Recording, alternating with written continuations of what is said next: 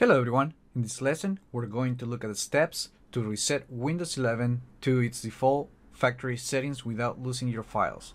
So when your computer is not working correctly, it's running slow, or there is a problem with battery or apps, Windows 11 includes a feature to reset the device to its factory default settings that might help to resolve these and many other problems. On Windows 11, the Reset This PC features allows you to quickly reset the computer keeping your files and reinstalling Windows using a locally available image or downloading a fresh image from the cloud.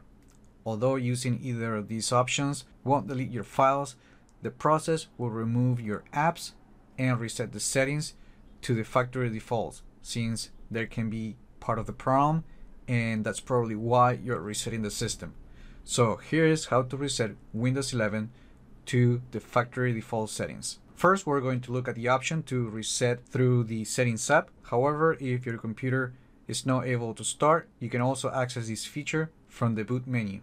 First, open Start and look for Settings. And then open the app. Now go to System and open the Recovery page. In here, under Recovery Options, on the Reset This PC, click the Reset PC button.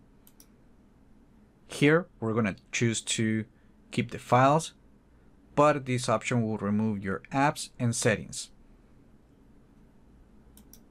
Here, you have two options, the cloud download or local reinstall. Usually, you want to use the local reinstall, and if that fails because the files from Windows are damaged, then you can try it again using the cloud download, which will download a fresh image of Windows to reinstall the operating system, keeping your files. And just remember that if you use the cloud download, the feature will download exactly the same version that you have in the computer. This is not an option to upgrade your device. For the purpose of this video, we're going to select the local reinstall option.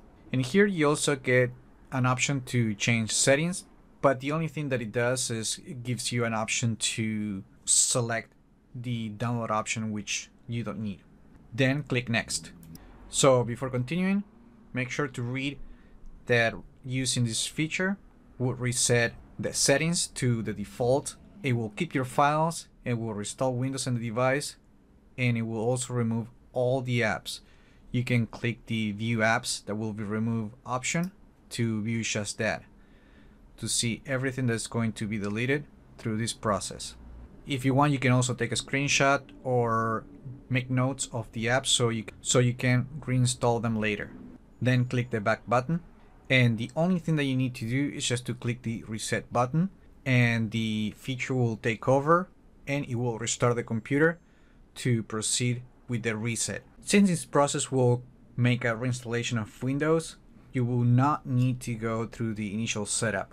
Once the reset is done, you will go straight to the desktop. I'm just going to cancel this process because I don't need to reset this computer. And now we're going to look at the steps to reset your computer if Windows 11 is not able to boot.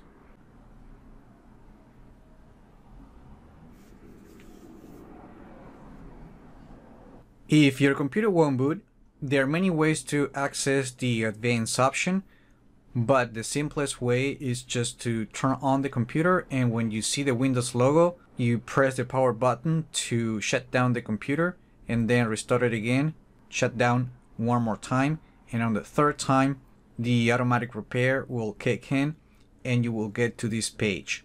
And from here, you need to click the advanced options button and then we're going to go to troubleshoot. On this page, you can see that we have the reset this PC option, and that's what we're going to select to continue. Since we want to keep the files, select this option. And again, we get two options in here, one to use the local reinstall and the other one to, and then the cloud download that downloads the image from the Microsoft servers. Again, it is quicker to use the local reinstall and if that fails because something's wrong with that image, then you can use the cloud download. But here's a warning when using the cloud download on the advanced settings on when you're on the desktop using the settings is that if you have a branded image from HP, Dell, Lenovo, whatever, if that came with a custom image, that will be overwritten by the clean image provided by Microsoft. So if that custom image had some custom uh, configurations or drivers, you will have to apply those manually later on. So with that out of the way, we're just going to select the local reinstall.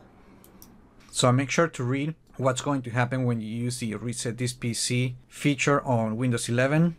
And the only thing that you need to do now is just to click the reset button. The process will take over, the computer will restart and reset. And because this is a reinstall, you won't have to go through the initial setup and it will go straight to the desktop. And that hopefully will fix any problems that might be preventing the operating system from booting previously. Again, I don't need to reset this PC, so I'm going to click the cancel button and I'm going to boot one more time into Windows 11. And those were the support methods that you can use to reset Windows 11 to their factory default settings without losing your files. I will also be leaving a link in the video description with written steps so you can follow along with this video. Remember to like the video, leave your comments, subscribe to the channel if you haven't done that yet, and I just hope this video was informative for you and I would like to thank you for viewing.